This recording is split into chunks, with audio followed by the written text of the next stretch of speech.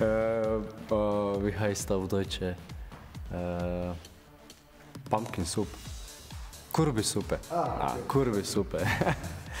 no, no, no. It's hard to say which is Schwer zu sagen. Jeder weiß, wir Sportler sollten uns gesund ernähren und das mache ich auch. You have to eat healthy and then I think everybody knows what means healthy.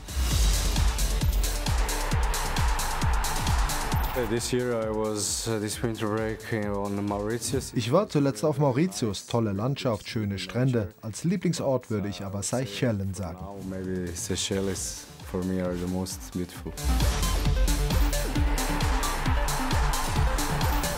It was in Dubai. It was like private zoo.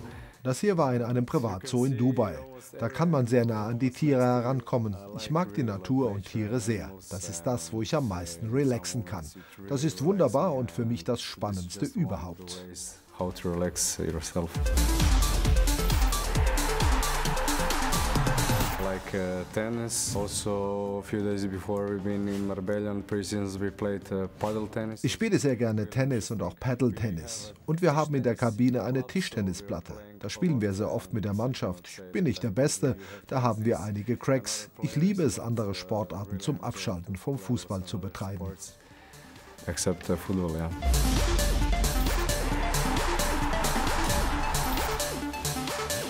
Ah, jumping from the plane.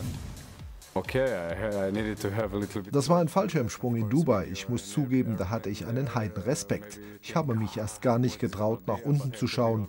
Aber ich hatte eine tolle Tandemspringerin. I was with uh, this like professional jumper, and uh, she she was pushing me just like that, so I didn't have time to think.